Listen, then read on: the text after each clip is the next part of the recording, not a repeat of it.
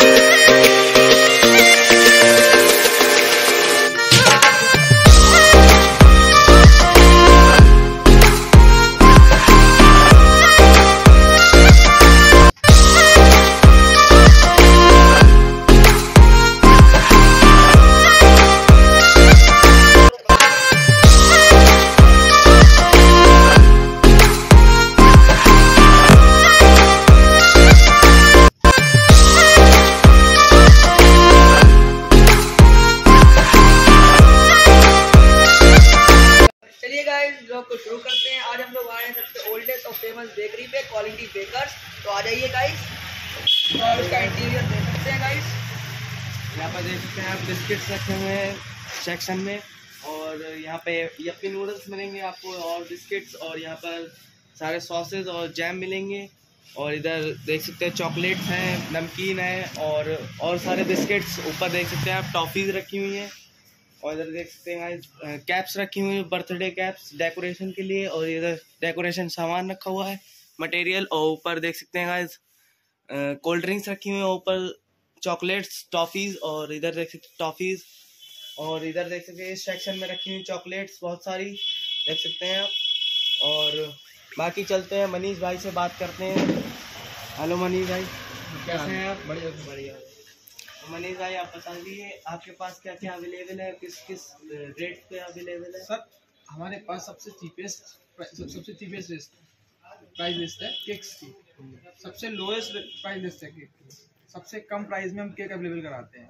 तो किस रेंज से शुरुआत होती है स्टार्टिंग हमारी 190 पर पॉइंट पॉइंट के हिसाब से यहाँ पे केक अवेलेबल होता है और 190 पर पॉइंट पर पॉइंट केक है। का फ्लेवर होगा उस हिसाब से आपका केक मैंने जो और क्या क्या मिल ऑल वैरायटी ऑल वैरायटी के केक्स हो गए और क्या क्या मिल जाता है आपके पास? पेस्ट्री पेस्ट्री है पुडिंग्स है और पिडीज है।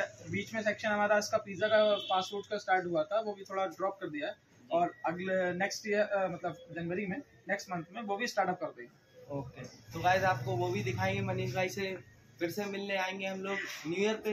न्यू ईयर के बाद न्यू न्यू ईयर के बाद। आपको दिखाएँगे वो भी। उसका भी एक अलग ब्लॉग होगा और इधर देख सकते हैं गाइस थोड़े कुरकुरे चिप्स टंगे हुए हैं। इंटीरियर कुछ ऐसा है गाइस और तो मनीष भाई से एक बार पूछ लेते हैं ये बेकरी कब स्टार्ट हुई थी और किसने स्टार्ट की थी? ये तो बिक था भाई मेरे फादर ने स्टार्ट की थी। जी। 2000 2009 में। 2009 में ये बेकरी बनी थी और सबसे ओल्डेस्ट और सबसे फ़ेमस फ़ेमस बेकरी है तिलर की। तो गाइस अली भाई आ जाइए। अली भाई से थोड़ा सा रिव्यू लेंगे कैसे लग रहा है अली भाई? बहुत ही अच्छा लग रहा है। आप कभी विज़िट करें तिलक तो ज़रूर आए। सबसे ओल्डेस्ट बेकरी है गाइस और गाइस आप देख सकते हैं यहाँ पर पेस्ट्रीज और केक वगैरह रखे हुए हैं। तो मनीष तो मनीष भाई कुछ टेस्ट करने के लिए पेस्ट्रीज पेस्ट्रीज आप दिखा सकते हैं? तो अभी हम गाइस आपको टेस्ट करके बताएँगे पेस्ट्री और अली भाई भी रिव्यू देंगे हमारे। और जो हमारे कैमरा मैन है काशान भाई वो भी आपको रिव्यू देंगे। तो गाइस मिलते हैं। तो गाइस हम तो आप देख सकते हैं हम लोग की पेस्ट्री आ गई है। और इसे टेस्ट करके बताते हैं गाइस कैसी है। टेस्ट कर रहे हैं हमारे अली भाई।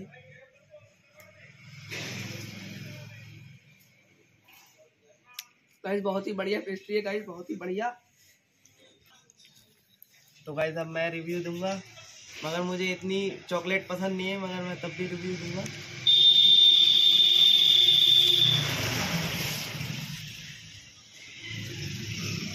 बढ़िया गाइस मगर मैं चॉकलेट खाता नहीं हूँ इसलिए मुझे ज़्यादा पता नहीं चल रहा है तो मैं अली भाई से कहूँगा कि थोड़ी आप टेस्ट करके बताइए। मुझे चॉकलेट इसलिए नहीं पसंद कड़वी लगती है चलिए गाइस मैं टेस्ट करके बताता हूँ।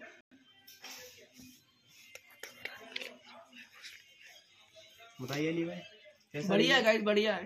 पर मुझे सबसे ज़्यादा जो बढ़िया लगी है वो यही रही गाइस ये सबसे ज़्यादा बढ़िया इससे बढ़िया ये है इनकी प्राइस क्या है मनीष भाई? ब्लैक फॉरेस्ट थर्टी की है और डार्क चॉकलेट फिफ्टी रुपीज़ की है ओके ये फिफ्टी की है और ये, बढ़िया है। ये फिफ्टी की है थर्टी थर्टी की black forest thirty and dark chocolate fifty okay कैसे भूखे नंगे खा रहे हैं देख सकते हैं आप लोग गाइस भूखे नंगे। भूखे नंगे हैं। कैमरामैन से बोल दिया था कि खाएँगे लेकिन कैमरामैन को खिलाया नहीं इन्होंने कुछ भी। देख सकते हैं आप गाइस ये दोनों खा रहे हैं। कैमरामैन की भी बारी आएगी उन्हें नया बाय करके देंगे हम लोग। हम लोग दिल के बहुत अच्छे हैं गाइस तो गाइस देख सकते हैं यहाँ पर टेस्ट करके बताएँगे हमारे कैमरामैन काशान भाई और ये मनीष भाई हमारे।